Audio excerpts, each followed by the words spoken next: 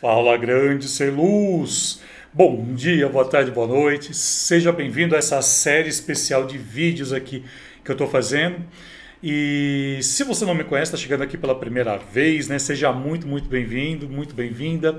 Saiba que é um prazer imenso ter você aqui nessa página, né, que é considerado o maior canal falando sobre a temática da iluminação cênica aqui na internet.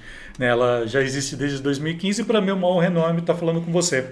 Então eu quero pedir uma gentileza, né, já começando aqui o vídeo, já sendo pidão aqui, deixa seu like, tá, que é muito importante para o canal, e também ativa as notificações. É, essa série que eu vou estar colocando aqui, você vai receber no seu e-mail, você vai ser avisado toda vez que sair uma, um vídeo novo dessa série, que tem aqui, acho que tem 4, 8, 2, 16 vídeos aqui que eu vou estar falando quanto à questão do arsenal da iluminação. Já já vou explicar o que, que é isso. Se você está chegando agora e você está entendendo agora o que é, só para você poder entender um pouco mais a respeito disso, tá? Então, olha, deixa seu like, se inscreve no canal e ativa a notificação. É muito importante também, né, você estar tá fazendo isso porque eu sei que está chegando para você e que isso daqui está sendo bem interessante e para dar também continuidade a todo esse material que eu tenho. E uma coisa que eu sempre falo, né, se você tiver alguma sugestão, me manda, entre em contato comigo pelas redes sociais. As redes sociais estão todas aqui embaixo do vídeo. Aliás, também aqui vai ter, aqui vai ter a, o curso Iluminação Cênica Online para você conhecer o que é, por quê. Agora falando um pouquinho desse arsenal da iluminação, né? o que é isso? Né? O arsenal da iluminação ele nasceu com o intuito né, de estar tá trazendo informação técnica sobre o curso Iluminação Cênica Online. Esse curso ele veio né, numa época bem tumultuada, nesse né, período de pandemia que nós passamos, e quando eu fui colocá-lo dentro da estreia, tem, uma, tem um assunto muito interessante aqui, Celus. Quando eu fui colocar né, para venda ali o primeiro dia que eu abri, foi bem nesse período. Então eu tive que prorrogar um pouquinho dentro do prazo que eu já tinha estipulado, já tinha algum, algum tempo, mais de seis, sete meses que eu já estava preparando o curso para colocá-lo. Tanto é que quando chegou o período da pandemia eu já estava com 80% dele dentro da plataforma online. E o que aconteceu? Sabendo que o nosso setor estava bem complicado e muitas vezes não poderiam adquirir o curso, né, porque ele é um curso que é vendido, e o que, que eu fiz? Eu criei o arsenal da iluminação. Então eu trouxe fragmentos do curso iluminação cênica online para estar tá discutindo e com isso né, contribuir com a minha parcela também. Né, de solidariedade junto a, a, aos meus colegas, junto aos profissionais de iluminação. Cresceu tanto, mas cresceu tanto. O Arsenal ele foi a primeira websérie falando sobre a questão da iluminação cênica no Brasil. Antes disso não se existia. Né? Eu sou primordial em muitas coisas dentro da internet. Então, se você está chegando agora, sinta-se à vontade para ler todo o meu material. Você vai ver que é um material muito diferente do que você está acostumado. E é o que eu chamo de iluminação cênica moderna. Então, a gente pega né, a iluminação cênica mais tradicional, tem ela como base, só que a, aqui eu trago de uma maneira diferente. Porque para mim, dentro da internet, todos nós somos iguais. Eu posso sim ser o professor do curso, eu posso ser o organizador do curso, porque precisa, tá? As decisões elas precisam ser, né, é, verticais, porém o conhecimento ele é horizontal. Aí aqui está a grande diferença do curso Iluminação Cênica Online e é isso que eu vou estar tá trazendo para você em todos esses episódios que eu vou estar tá abrindo aqui para você do Arsenal da Iluminação. Beleza?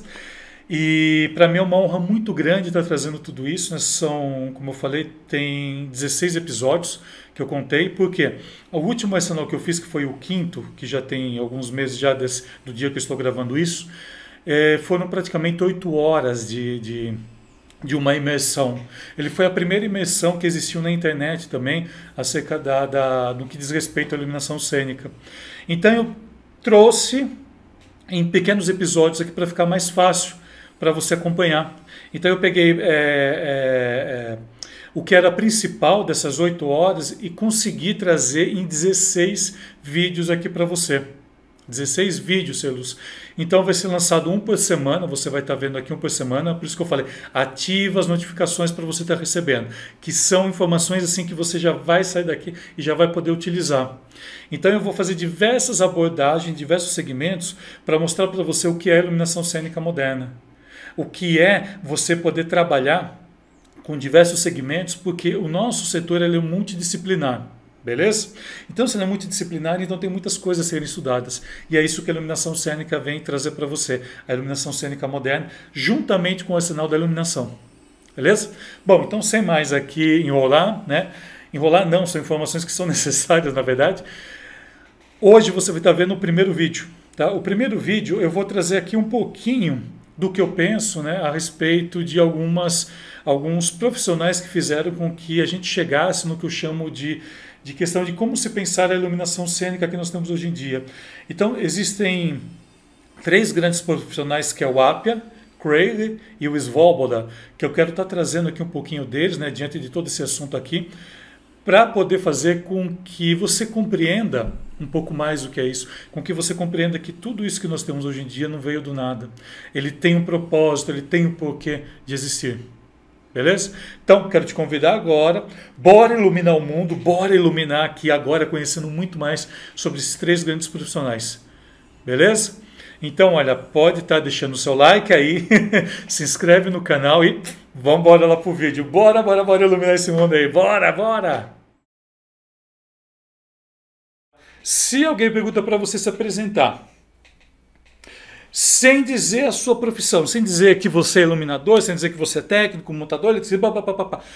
Como você descreve? O que você faz? O que você faz? Como você descreveria isso?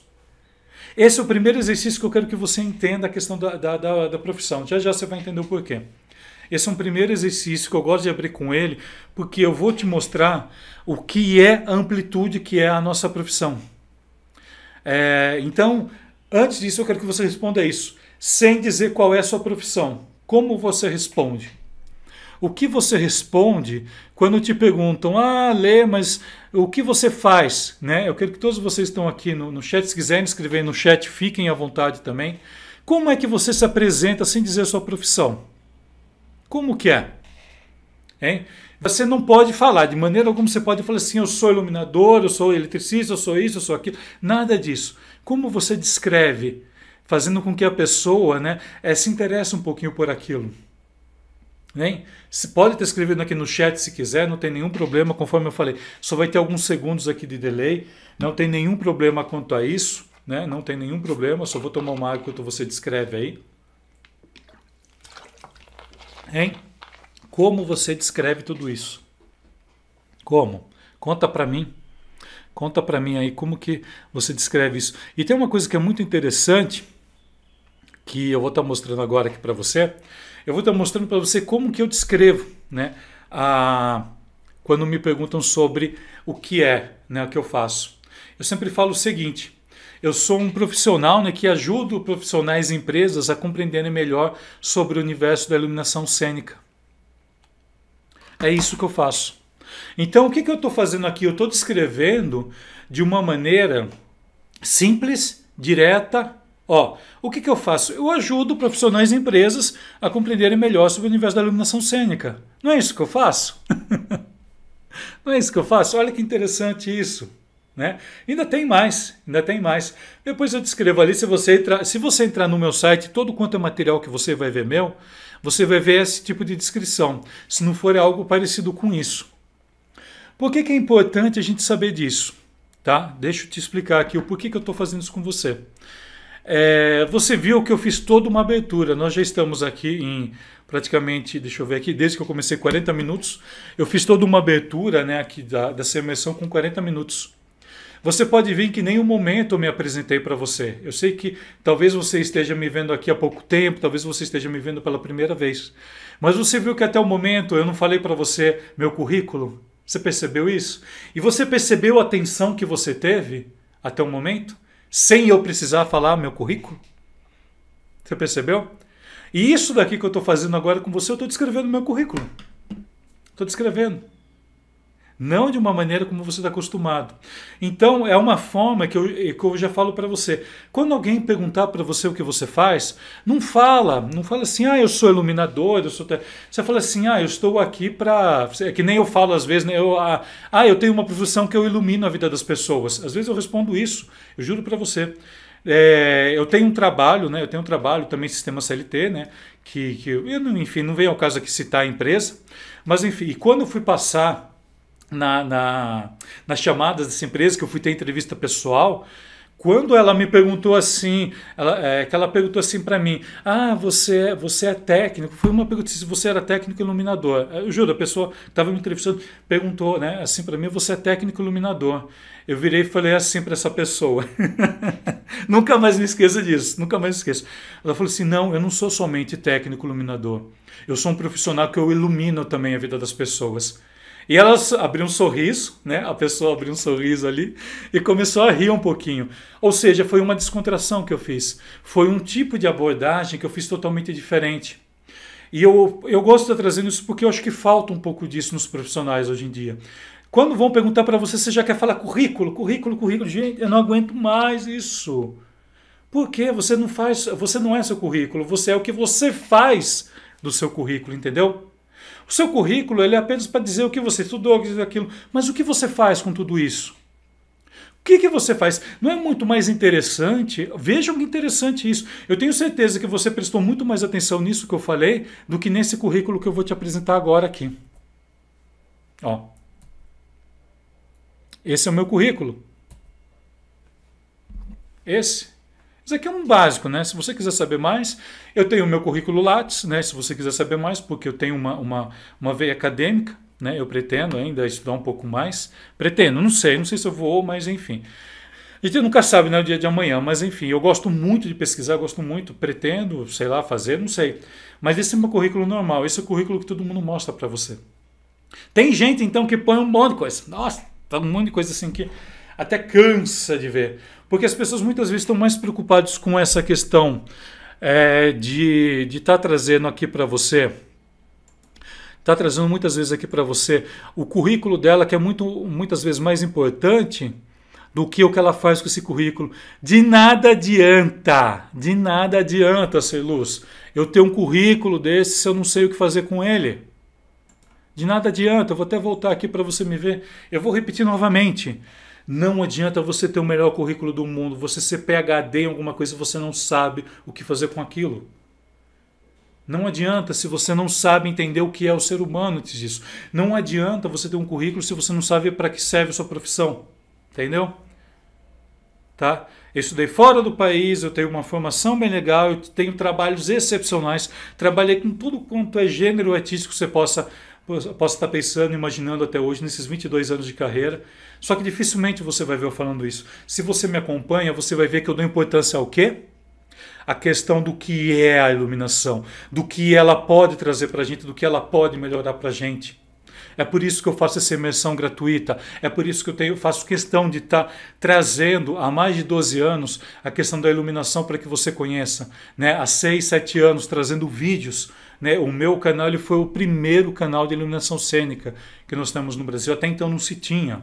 Não se tinha falando sobre iluminação cênica. Tinha alguma coisa falando da iluminação para a arquitetura, mas era bem técnica. Eu vim e quebrei todo esse paradigma. E eu sei o quanto eu transformei através da internet. Porque eu não vim de uma forma toda quadrada, toda com os moldes quadrados. Eu vim de uma forma totalmente diferente daquilo que você está acostumado. E eu sei que se você está assistindo isso, você deve estar tá falando assim: ah, o Alé é meio louco, meio doidão. Não é que eu sou louco, eu sou doidão. É que eu tenho uma visão totalmente diferente. Né? Nós temos que conhecer a parte técnica, nós temos, nós somos obrigados a conhecer sim. A gente tem que conhecer o tradicionalismo, porque se eu estou falando tudo isso hoje, é porque teve ali uma formação tradicional. Existe hoje uma formação tradicional, as pessoas que sempre falam a mesma coisa, estão lá falando a mesma coisa há 30 anos. Só que assim, o que, que aquilo agrega para a gente? Agrega alguma coisa, agrega, é importante. Mas nós estamos hoje em dia numa questão que a gente chama assim, a gente tem toda uma, uma, uma, uma informação hoje em dia, a gente tem uma formação para a área técnica que é extremamente grandiosa. Nós hoje em dia nós temos softwares, nós temos aparelhos robóticos, que a gente vai estar falando daqui a pouquinho aqui. Só que a gente não pode esquecer que a essência de tudo isso tem uma essência lá. Só que a gente tem que começar a pensar diferente. A gente não pode mais pensar iluminação como se pensava 15, 20 anos atrás. Não pode. Me desculpem estar falando isso, mas isso é a pura verdade. Eu tenho que conhecer o básico, eu tenho que conhecer, né, porque é, tem uma certa importância, só que assim, é uma questão tecnológica. A, a tecnologia ela evolui por ela.